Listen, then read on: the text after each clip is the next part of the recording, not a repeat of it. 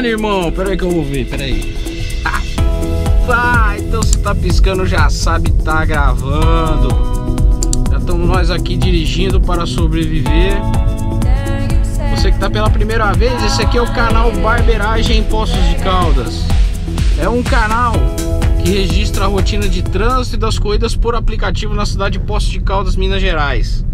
Hoje nós estamos num test drive aqui numa máquina, irmão. É.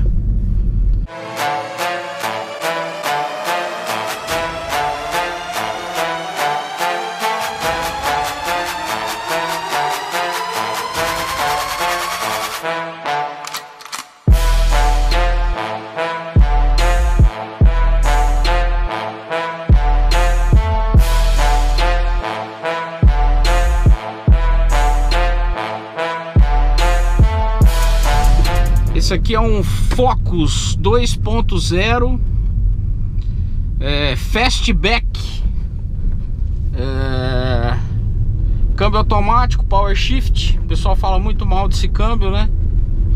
Nós estamos fazendo um teste aí Test drive Vamos ligar o ar-condicionado para ver se está funcionando Nós estamos indo levar esse carro aqui no mecânico Para ver como é que tá Esse modelo aqui Como eu já falei, é o 2017, né?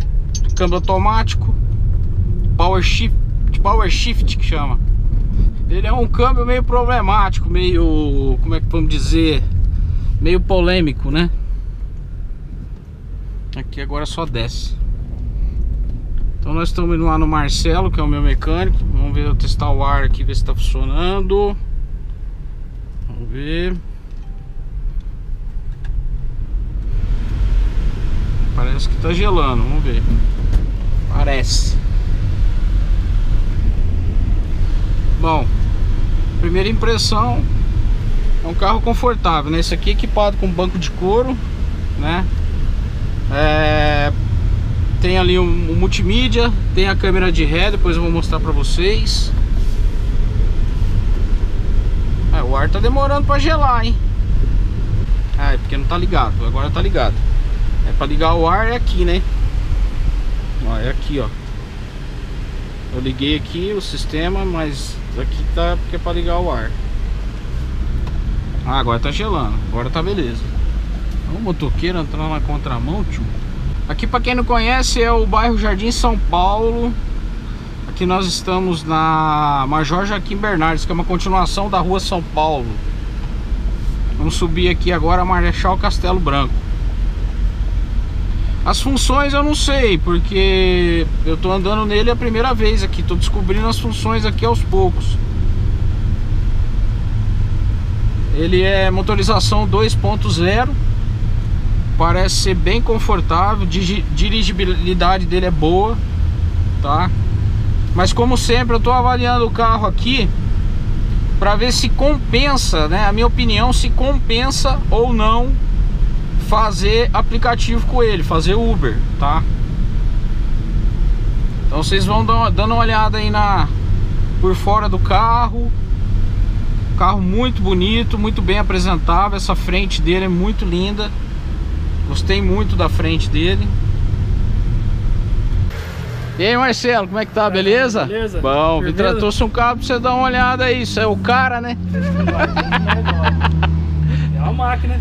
Pessoal, esse aqui é o Marcelo, meu mecânico há mais de 20 anos. Ele tem feito até alguns vídeos aí dos carros que eu tenho trazido aí, né Marcelo? Aí eu trouxe esse carro aqui, eu tô fazendo um test drive nele Pra ver como é que funciona, pra ver se serve pra Uber ou não O motor é 2.0 Aí eu vim aqui querer saber da sua opinião, entendeu? Pra você dar uma dica aí Pra ver como é que tá a mecânica Mecânica, ver mecânica, tudo, né? Pra ver se, se vale a pena ter um carro desse pra colocar pra trabalhar ou não, entendeu? Entendi Deixa aí dar uma olhada. Beleza. 2.0? 2.0, o problema dele, Marcelo, até eu tava falando no vídeo aqui. Uhum. Esse câmbio dele é meio polêmico, né? É o Power Shift. O que, que você me fala dele? É, saiu uns boatos aí que andou dando problema, né? É, né? Teve uns que entrou até água, alguma coisa assim, que eu falar, na, na, nas Export. Ah, sei. Só na Export que você ouviu falar, não? É, mas é a mesma mecânica, né? Uhum. muda, vai mudar a calceria do carro, não é a mesma mecânica. Certo. funcionar ele lá. olha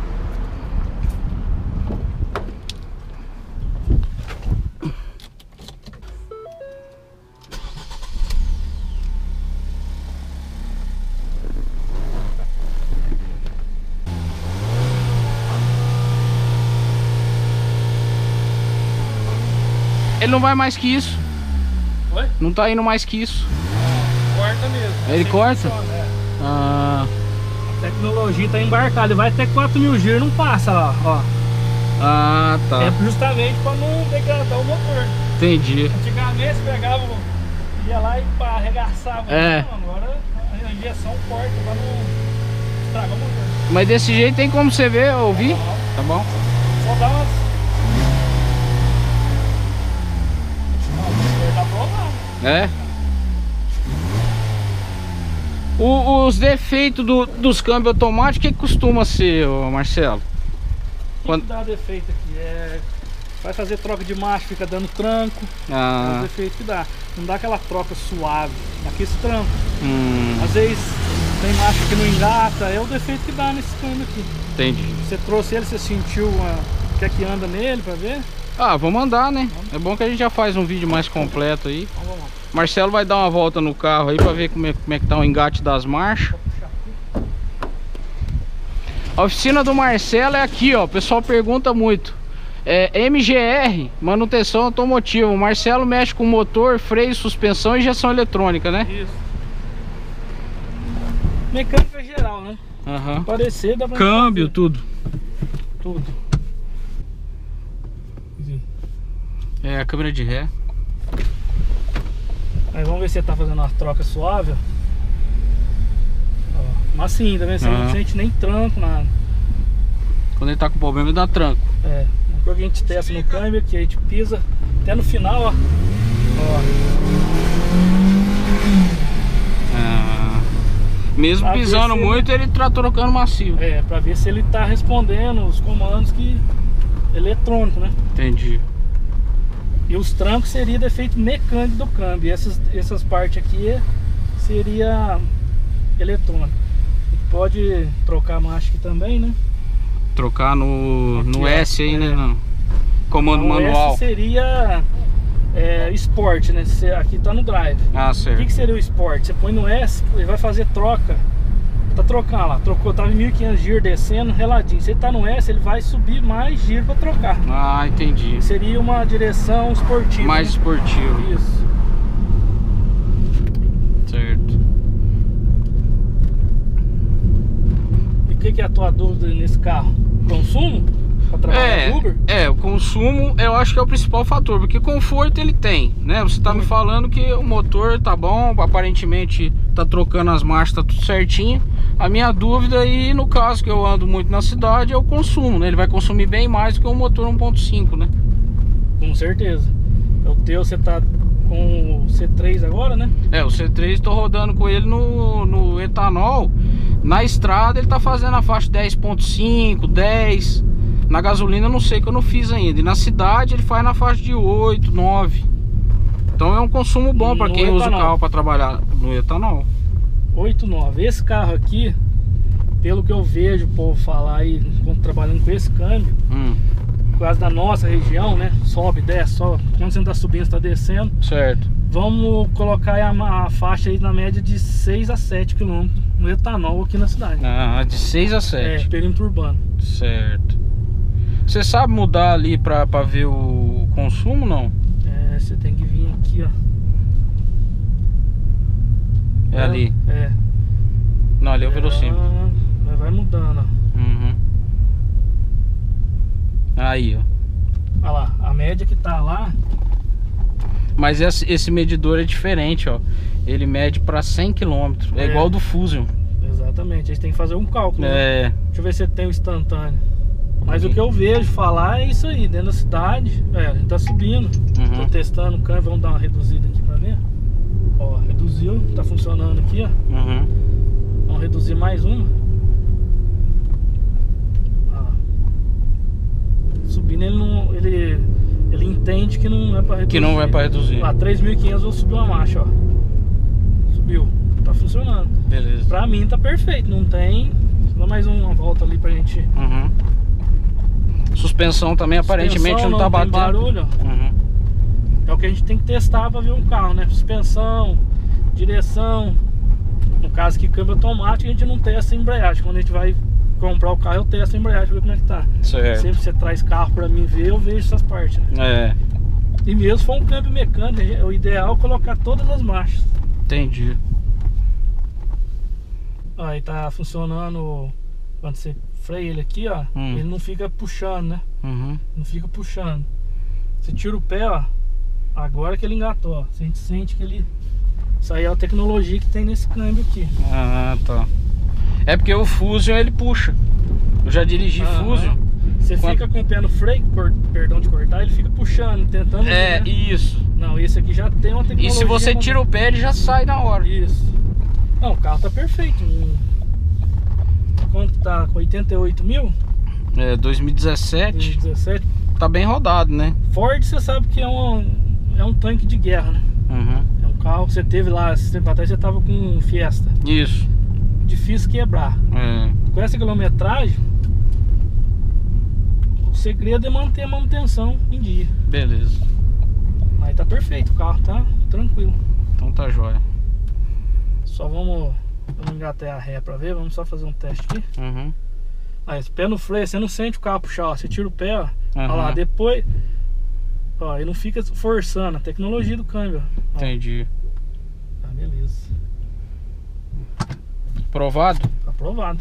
Então beleza. Aí eu vou continuar aqui o, Beleza. o teste aí pra gente ver se, se vale a pena ou não é, colocar ele pra rodar na cidade, né? Como você usa muito. Você vai usar muito para trabalho, é, tem que ver a- se compensa o consumo seu. né? Beleza. Marcelo, obrigado aí, viu? Obrigado. Tudo de bom pra você, Você aí. também, bom Falou. trabalho. E é isso aí. Aí. Valeu, obrigado. Deus abençoe. Beleza. Com certeza.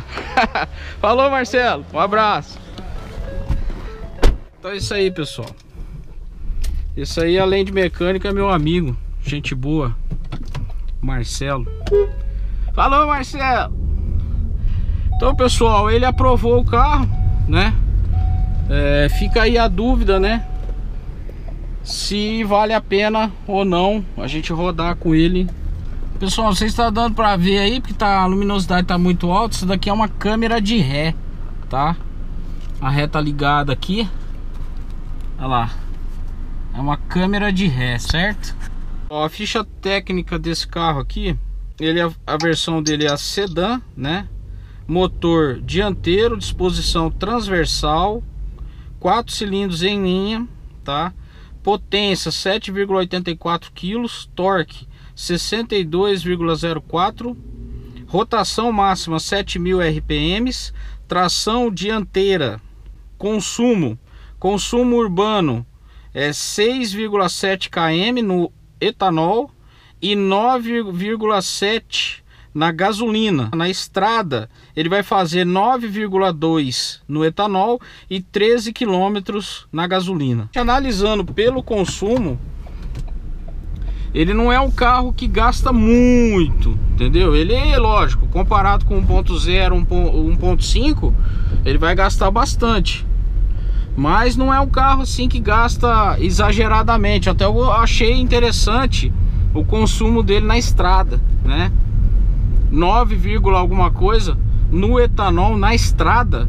O C3 na estrada, ele faz algo em torno aí de 9, 10 km com um litro de etanol, tá? Então esse carro aqui ele até que não, não gasta tanto assim, tá? Pelo conforto dele, né? Então eu diria, tá? A minha avaliação aí final, eu diria que vale a pena sim, tá?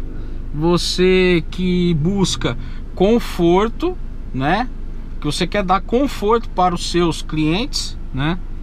É, andar num carro desse, né? Colocar um carro desse para trabalhar. Porém, é lógico, né? Se a gente for comparar consumo, manutenção, é muito mais caro do que um carro aí popular, né? Isso aí não tem a dúvida. Mas como o Marcelo disse, os carros da Ford eles são fortes, né? As, as é, tem essa esse apelo de ser um carro mais resistente, né? É, ao contrário, por exemplo, aí de carros é, que tem peças mais descartáveis, né? Mais é, mais fáceis de quebrar, entendeu? Então é isso daí. Eu eu usaria sim, tá? Para um, um, estilo de, de trabalho, de aplicativo. É, aí você pega aí o Uber, tem o Uber Black, né? Você pega outros aplicativos aí que nem o 20 buscar. Nós temos é, a opção de executivo. Vou deixar o Fusion passar aí. É, nós temos a função aí de motorista executivo, né? Inclusive o Herbert aí se encaixa na categoria. Ele vai pegar um Cruze agora 1.4, 0 km. Então a gente pode dizer que se você quer oferecer um, um, um, um carro diferenciado para o teu cliente, que é um cliente diferenciado, aí sim você pode usar, é, você pode adquirir um carro desse para trabalhar no aplicativo, tá? Agora com corridas aí a 5,30 que vai te sobrar aí 4,85, aí eu já não aconselho. Essa é a minha opinião. Eu já não aconselho você usar é, um carro desse. Beleza?